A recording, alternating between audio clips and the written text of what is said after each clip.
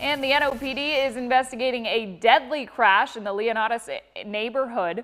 Police say around 2.30, two cars collided at the intersection of Pritchard Place and Dublin Street.